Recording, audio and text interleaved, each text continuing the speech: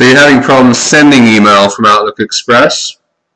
If you've set up your Outlook Express account and you're still not able to send email, that's a problem with your outgoing mail server. So what we'll do, we come into Outlook Express, click on Tools, click on Accounts, select the account that's having the problem. If it's the account you've just set up, it'll be down at the bottom. Highlight that account and click on Properties which will open the properties for that account. Now what we need to look at is the servers tab up the top, so click on that. Now we can, now firstly here we have the outgoing mail server information. It says outgoing mail SMTP. That needs to be the server address that your ISP provided to you. So it'll typically be mail.yourisp.com in Australia, that might be mail.bigpond.com, might be mail.optusnet.com.au, could be mail.iinet.com.au, or one of many others. So you need to get that information from your ISP and make sure that's correct. It typically would be provided to you in, in an email or in documents when you set up your internet with your ISP for your office. Um, they would have provided an email account for you with that.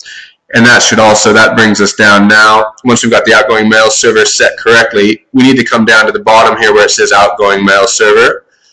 Because, because it's a different server you're sending out with, you need to make sure that it says my server requires authentication. You have that ticked. You click on settings. If it's set to use same settings as incoming mail server, that's not going to work because it's going to try to log on to that outgoing mail server using the wrong details. So you need to click on this button that says log on using.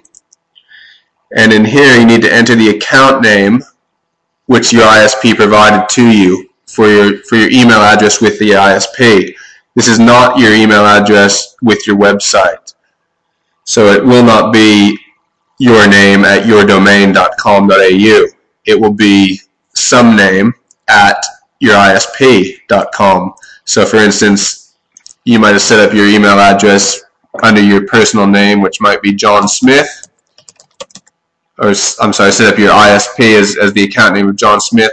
The Big Pond might have provided you an email address of John Smith at bigpond.com.au, and they would have provided you a password with that email address, which is what you need to enter in here. Once you have that information in, you typically would click it to remember your password, makes things easier. And then you do not typically need this box ticked, the log on using secure password authentication.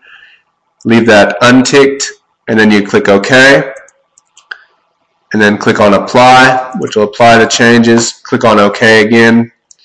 Click on Close, and now you should be ready to send email with Outlook Express.